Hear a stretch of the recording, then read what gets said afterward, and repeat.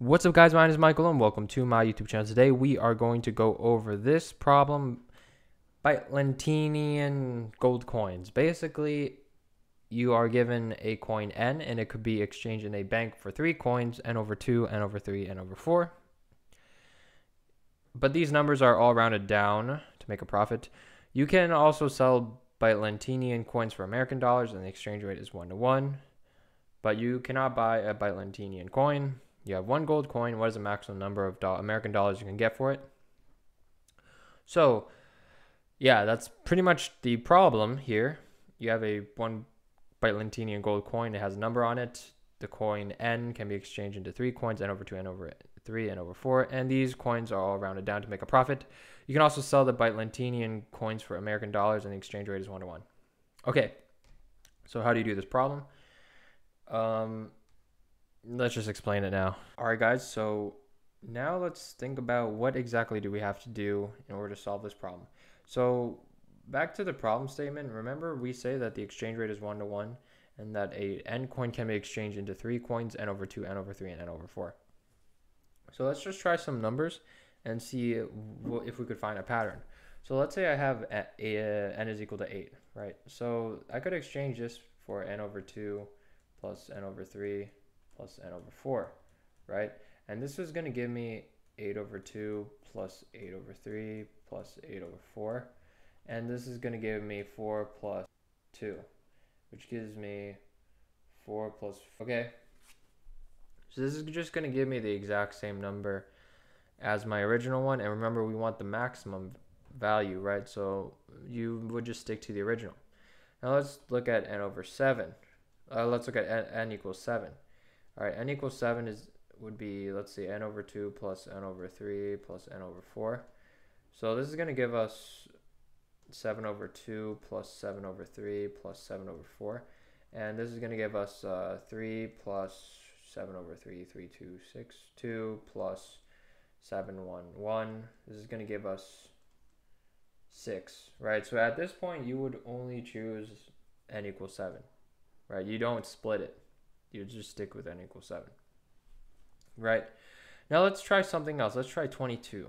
All right? Because 22 is something large. n equals 22. So then n over 2 plus n over 3 plus n over 4. This is going to equal to, let's say I try splitting it. I would get 22 over 2 plus 22 over 3 plus 22 over 4. This is going to equal to 11 plus 7 plus uh, 2, 5, 6, 5, 5. Yeah. And this is going to get me 18 plus 5, which is going to get me 23. So at this point, I would choose this splitting. I would choose the splitting instead of choosing the original value because we get more. Right? This is more. 23 is more than 22. So now our question is, when do we split and when do we keep the same value? So remember we go back to n over 2, n over 3, and n over 4. Well, apparently basically it turns out that you would actually split if you you would split more when you have greater than 12 so if n is greater than 12 you would actually want to split split. So you would actually add these up. And the reason why is because if you look at the LCM of 2 3 and 4 the LCM of 2 3 and 4 is 12 right? The LCM of 2 3 4 least common multiple is 12 and that's why when you get greater than 12, you want to split it because at the point when you get greater than 12, the value that after splitting and adding them up is going to be greater regardless of the original value of n. No matter what you put after n is greater than 12, you are going to get a value that is going to be greater than the original value of 12. So anything less than 12, so let's say n is less than 12, right? Anything less than 12, you're just going to keep. Keep the original value and just return it. So now the big question is, is that how do I make this faster though? Because if I'm just going to keep splitting by 2, 3, and 4, and just keep repeatedly splitting, splitting for those values, I'm going to get a situation where I'm going to recalculate the same question over and over again, right? I'm going to get the same value. So like, let's say I had like 6 over 2, and then in another splitting, uh, 6 over 2 is equal to 3, right? I don't want to calculate this again, 6 over 2 equal to 3 over and over again. So we're going to do something called memorization. This is when every time we calculate a certain value for n over 2 or n over 3 and n over 4, we are going to store that specific value into a map. And then every time we uh, have the same value that's divisible by it again, we are just going to look up the problem to it. Okay. So that's what we're going to do. Okay.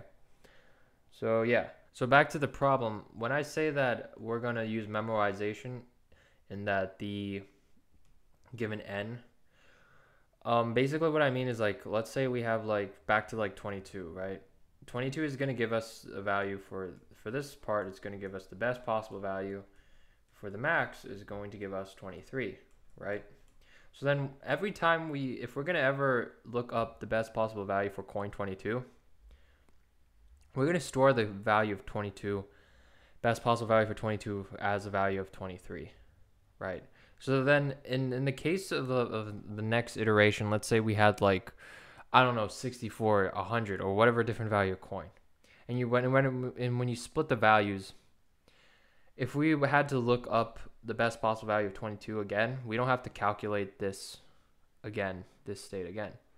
We just have to look up and see if it, once we have it, we just add it to, we just return 23. So then we don't have to keep recalculating this part over and over again, right? And comparing if the left side's greater or the right side's greater, right? So then every time we compute something, we're going to store it into a hash map and then uh, store the best possible value for that value in the hash map, and then we look it up, and then we just return it. So yeah, um, I'm gonna explain the code now, and then I hope you guys understand what's going on. All right, guys, I'm going to explain the code now to you guys. So they said that to keep reading in n a test case until there's the end of the file. So because of that, I had to do this um, long, long n and a while cin, right? That was going to keep reading it until the end of the file.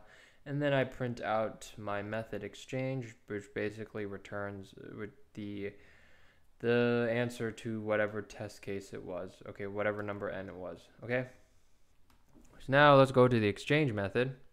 So above exchange, I have a map called S, and this map just stores the best possible value for each test case, right? So if it was 22, it would store 23. If it was 8, it would store 8, right? Stuff like that. Okay. So, um, in my exchange function now, if my current value n is less than 12, I just return n. And the, I already explained the reason why we do this is because if it's less than 12, uh, we know that no possible number can be greater than this, right? Because if you do n over 2 plus n over 3 plus n over 4, it's always going to be less than the original number. So that's why we just return n. And yeah. Okay. Now we have this this condition if s dot find n is not equal to s dot end. This is just checking if in our current map that we did, did we already calculate the value of n? Did I already calculate the best possible value of n in the case to return? So if it's not equal to the end, this means that I already did calculate it, so I just have to return it. I don't actually have to recalculate it again.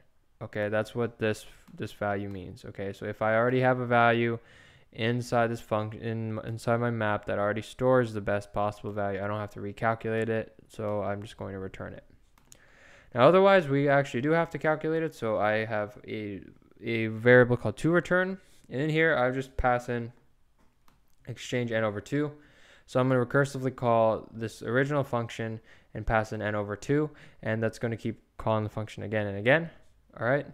And then I'm going to add it to exchange n over 3 and then add it exchange n over 4. So this is going to recursively call it and get the best possible value for n over 2 and then add it with n over best possible value of n over 3 and add it for the best possible value of n over 4. Okay? Then after that, I set my because we did not have the this value calculated yet, right? Now the two returns is going to store the best possible value of n over 2 plus n over 3 plus n over 4 then I just store that in my map of S. So S at the S at the N, right? For the nth value, for whatever my n value is, right? I'm going to set that equal to the best possible value that I just calculated, and I just return to return. Okay, so that's just going to return the best possible value that you just calculated. So yeah, that's basically how you do this problem. It's just a bunch of recursive calls, and then you just uh, store each recursive call's value inside a map, and then you don't have to look it up again. All right, so that's pretty much how you do it. Rate, comment, subscribe. I'll check you guys later. Peace.